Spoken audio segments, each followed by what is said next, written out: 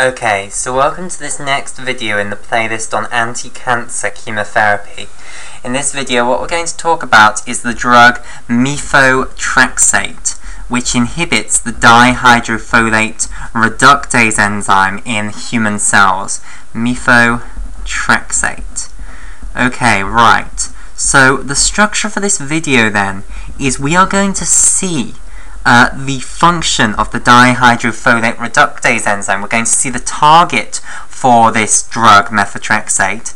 We're then going to see um, what that enzyme actually does and how it's really important in the production of thymidine monophosphate, which is one of the essential uh, nucleotides for construction of DNA. Okay.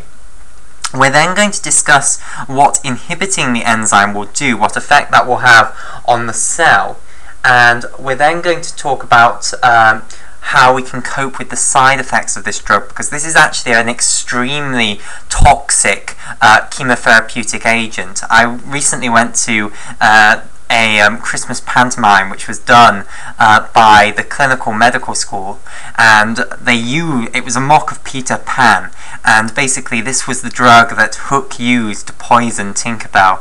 Okay, so it's a, not a nice drug uh, but it is a very effective anti-cancer chemotherapy.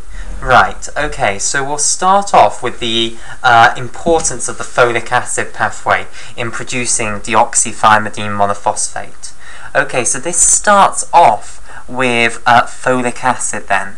So, we'll start off with discussing the structure of folic acid and how you convert folic acid into tetrahydrofolate.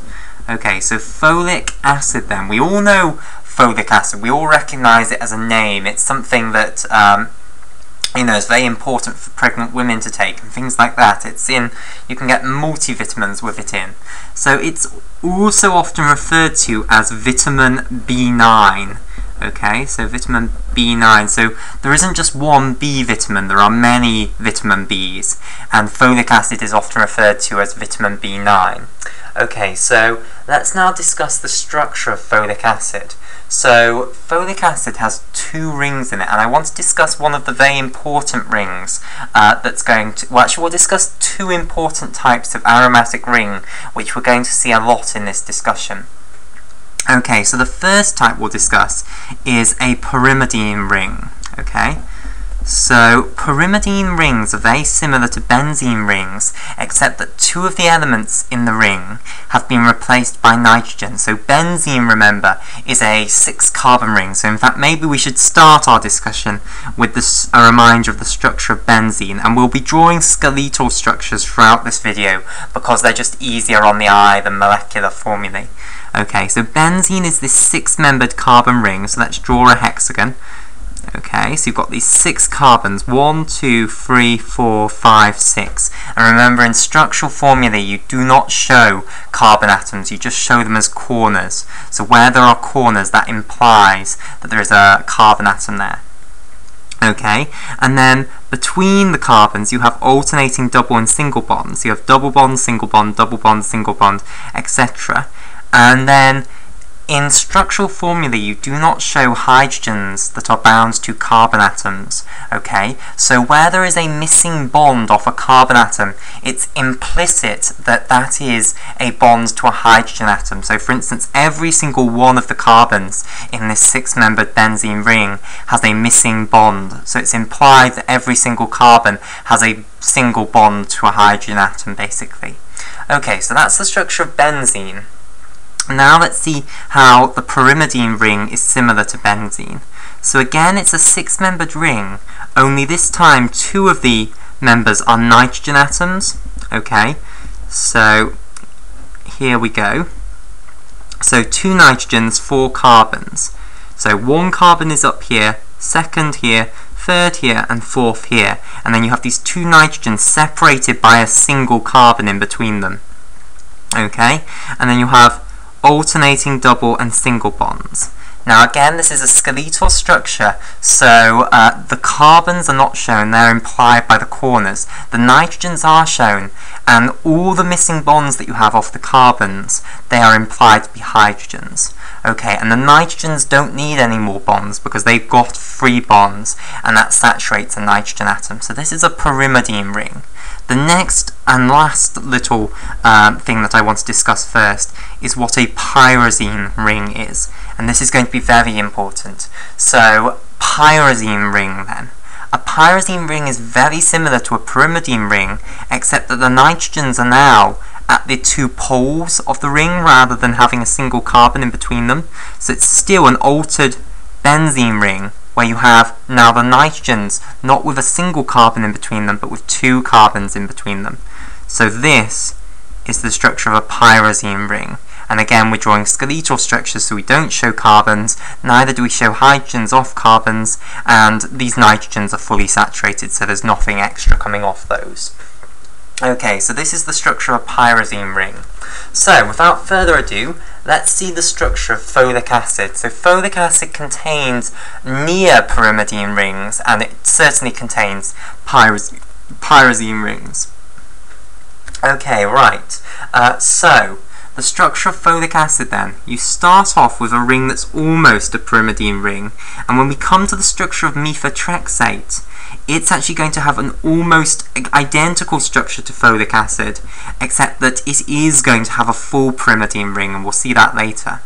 Okay, so, oh whoops, I've missed this nitrogen off here, sorry. So here's the nitrogen here, and then we have alternating double and single bonds, but then we do not have this double bond here. Instead you have a carbonyl group up here, and a hydrogen off this nitrogen. And remember, you do have to show hydrogens that are off non-carbon atoms okay?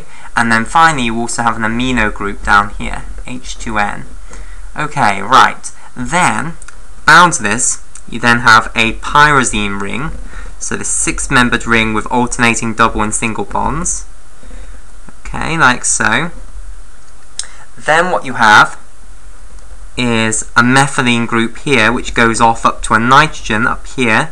I'm just wondering, worrying now whether this is going to fit in and then off this nitrogen you have a hydrogen which I'll stick up there and also a benzene ring which sticks off here. Okay and I hope this all fit in. So here's our benzene ring alternating double and single bonds. Okay and then off here we have a carboxylic acid group that's bound to an amino group making it an amide group here. Okay like so Right, and we're going to have to go off at an odd angle now. Uh, I would usually go back up there, but obviously we don't have enough uh, space for that. Or actually, I can try. I'll try. So then, what you have up here is like so. So basically, you've taken this carboxylic acid group here and you've bound it to the amino group of an amino acid. And the amino acid you've got up here is actually going to be glutamate. So here's the carboxylic acid group of the uh, generic amino acid structure. So remember, in an amino acid structure, you have an acid group, an alpha carbon in the middle, and then an amino group over here. And the amino group is involved in an amide link between um, the glutamate molecule and this uh, carboxylic acid group coming off the benzene ring. Okay, then we just need to complete the R group of this glutamate, so let's do that. So we've got one methylene group, two methylene groups, and then on the end, we've then got a carboxylic acid group down here. Okay, so that now is the structure of folic acid, okay, or vitamin B9. Now, let's talk about how we convert this into um, dihydrofolate reductase. So we want, uh, sorry, dihydrofolate. So basically, folic acid is an essential vitamin and now we're going to see why it's an essential vitamin. Okay, so what do cells do with folic acid? Well basically they convert it into dihydrofolate and then into tetrahydrofolate. So let's firstly see the conversion that takes it into dihydrofolate. So, we'll start with this conversion. So, again, we draw out this starting near pyrimidine ring over here. Okay, so the carbonyl group's up here, and I'll try and include this nitrogen this time. So here's our nitrogen down here. Got this double bond here, double bond here, and we've got an amino group coming off here. Okay, then we've got our pyrazine ring here, okay? Now, what's going to happen is that we are going to uh, break one of these double bonds in this pyrazine ring, we are basically going to bring in two hydrogen atoms and also, so, well, two hydrogen atoms, that's what we're going to actually bring in. So two hydrogen atoms consists of the hydrogen nuclei and also two electrons. So remember the structure of a hydrogen atom, or at least the structure of the most common isotope of hydrogen is that you have a single proton at the center and then an electron around it. So we bring in two protons, two uh, hydrogen nuclei, and then two electrons as well. Of course, you can have different isotopes of hydrogen. This is actually the protium isotope of hydrogen. Uh, the there is also the deuterium and the tritium isotope where you have differing numbers of neutrons. So in protium you have no neutrons, so zero neutrons, one proton, one electron is protium. Then in deuterium you would then have one neutron, one proton, one electron, so one of each. And then finally in tritium, the final of the common forms of hydrogen, uh, common in um, quotation marks, um, you would have two neutrons, one proton and one electron. But the main form of hydrogen is just protium, so you have no neutrons and just a proton and an electron like I've drawn here. Okay, so you bring two hydrogen nuclei and two electrons, so two hydrogen atoms overall. And what you're going to do basically is you're going to cleave this bond here. So you're going to break this second of the two bonds between this nitrogen and this carbon. So you're only going to break one of the bonds. You're not going to break both of the bonds in that double bond. You're just going to break the second one. And that would send one electron back to nitrogen and one electron back to carbon. They'll then have unpaired electrons, and what each one of them will then bind to a hydrogen atom. So we've brought in two hydrogen atoms. One will bind to this carbon, and one will bind to this nitrogen. Okay, so what we'll get is this. So we've got a single bond here now. We show the hydrogen off the nitrogen, but we don't show the hydrogen off the carbon.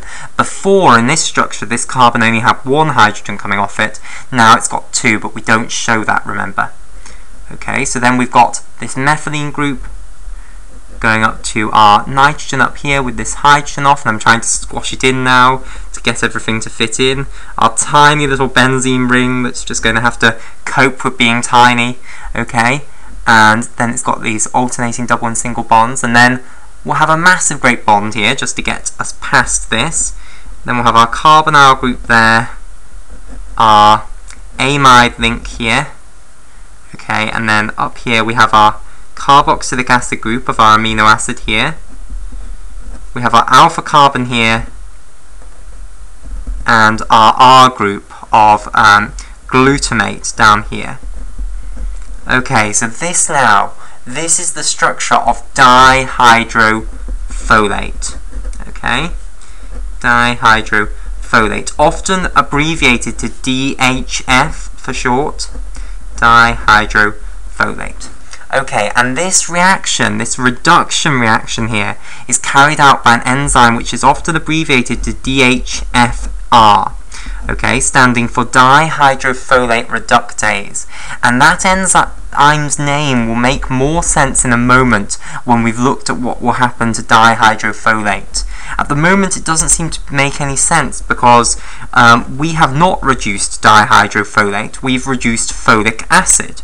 Okay, so why is it called dihydrofolate reductase? Surely it should be called folate reductase. And by the way, folic acid and folate are the same thing. Okay, they well, strictly speaking, they're not, but they're as far as we're concerned, they are the same thing.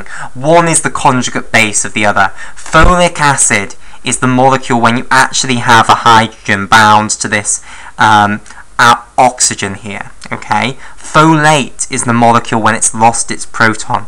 So folic acid is known as an acid for a reason because it can donate protons away. Specifically, it can donate this proton off this carboxylic acid group here. Okay, when it donates the proton away, it then leaves this oxygen with no proton on it and with a negative charge on it. That molecule that you end up with is folate. Um, so as far as we're concerned, you know, it will be switching between being a folic acid and a folate molecule, and people will use these two interchangeably.